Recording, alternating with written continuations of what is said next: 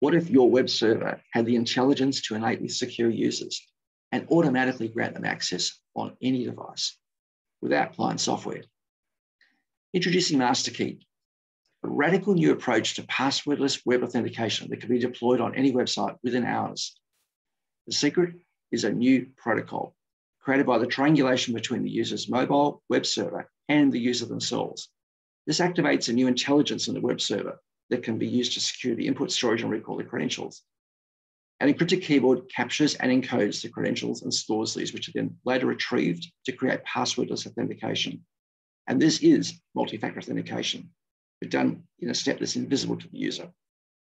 On a mobile phone or a tablet, the website simply recognizes them and logs the user in. On a workstation, we present a QR code. If the user scans this with their phone camera, we project the login screen onto the phone, which authenticates the user. The workstation logs in. This happens instantly, and there is nothing installed on either device. The advantage of this approach is that it is 10 to 100 times faster and simpler to deploy than other solutions because there is no changes to backend infrastructure.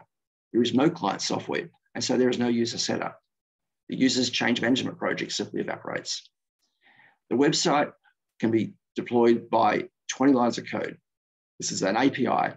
You would simply clone the login page, add the API, put some test data through, maybe do a proof of concept with some real data, mount a pilot to a 1,000 users, keep expanding the pilot until everybody is live.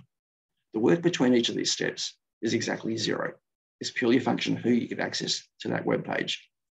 And you could go live literally overnight because there is no technology risk. The system has no single point of failure. From a security point of view, there is no risk either. This is the user's normal input. What we've done is abstracted it away from their devices so they never enter it again. It's now controlled by the web server, by the, in combination with the user's mobile phone and perhaps the user's fingerprint. You can test drive this on your own website. If you'd like to experience it in your own hands, hop onto a Zoom call with us. The demo is seconds.